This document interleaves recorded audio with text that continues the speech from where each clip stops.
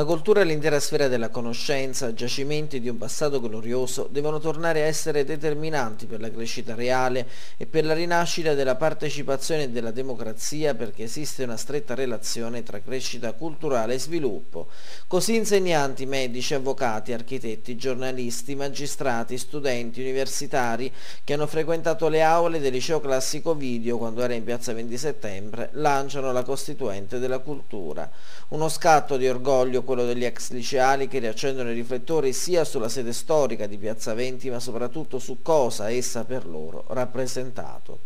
Sentiamo il dovere di farlo pubblicamente, di dire con fermezza che la civiltà moderna ha estremo bisogno di uomini e di donne che conoscano la cultura della democrazia che ebbe origini nel mondo greco classico, di studiosi di gran nervo, per dirla con Antonio Gramsci, che siano capaci di risolvere le questioni sociali con lo spirito di sacrificio e l'abitudine a mettersi continuamente in discussione, proprio come avviene nell'esercizio di traduzione dei classici greci e latini. Intervengono in coro, spiegando che il liceo classico consente di immaginare quello che non è stato ancora immaginato, è palestra per la mente che allena lo studente a diminuire il rischio di poter essere ingannato nella vita. In questa palestra la cultura non è quindi solo giacimento di un passato glorioso, ma sorgente di responsabilità e di valori universali. Per gli ex studenti che hanno dato vita alla Costituente per la cultura, una buona educazione classica è fondamentale per rendere inventivo e fecondo anche l'universo della ricerca